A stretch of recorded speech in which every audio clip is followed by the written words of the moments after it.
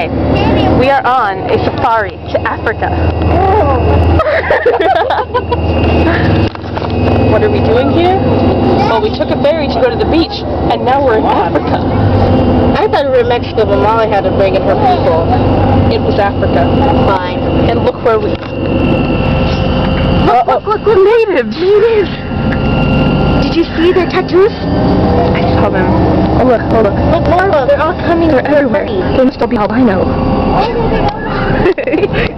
What's going on here? We don't know. But we really are in Uh, Africa. Megan, We really are. does this go down the other way? I just saw the Look at this. Swahili, the Swahili. Swahili. Where? There's That's a rare find. Hi. oh, there they are. They're all going there. Look, is it a tribal, tribal dance meeting? See, look at the different colors. Different colors of the tribe. What do you think it represents? I'm. Albinoism. Albinoism. Get that was Swahili. We're gonna change the race now. Swahili. So why are we on the bus again?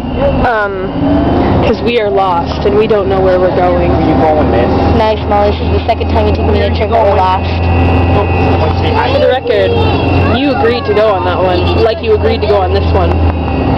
You know, I should always sign contracts before I do this. I always get the dumb thing. Contracts are for ninnies. The ninnies. Goodbye.